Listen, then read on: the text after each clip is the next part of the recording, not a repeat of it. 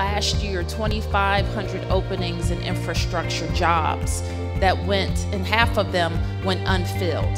For us, that's unacceptable, uh, considering that we have so many talented DC residents who want to work. The beauty of the Infrastructure Academy is that this is providing or will be providing long-term technical training to allow uh, the graduates and those that participate in the program to have long-term, well-paying jobs that turn into long-term careers. It's critical as a company that we are connecting individuals that we serve to the career opportunities that are becoming available within our industry. We're not just an energy provider.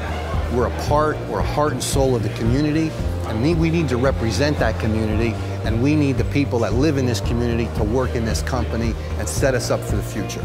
Our business view is holistic. When our communities are successful, vibrant, and growing, we are successful. We must focus on developing the workforce of the future, nurturing diverse talent, providing opportunity in underserved uh, areas, and building partnerships with those who are truly making a difference.